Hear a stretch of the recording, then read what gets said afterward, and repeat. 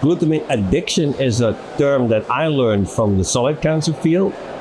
And um, compared to the general dogma that the metabolic reprogramming of cancer cells uh, was expressed by something called the Warburg effect, was in fact discovered by Otto Warburg, famous German scientist, and he about a century ago started describing the changes of cancer cells, and they would use obligatory glucose. So what they do is something called glycolysis, and uh, there's two main systems, energy systems in every cell. We could, to, to put it simply, is glycolysis or oxidative phosphorylation, respiration, which takes place in the mitochondria, the, the energy factories of the cell.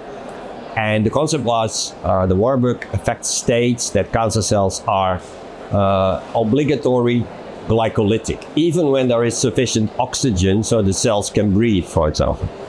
This concept is now under challenge, uh, to put it mildly, and instead of obligatory glucose addicted, people have found that many cancer cells, in fact, use glutamine, a very high concentration amino acid in the blood and, uh, and muscles and so forth.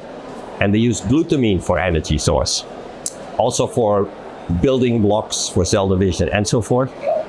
And we have tried to investigate this concept for CLL, and we found also there that CLL cells that are reprogramming in the lymph nodes are leaning towards glutamine addiction. If you block glutamine import, they have a hard time cycling.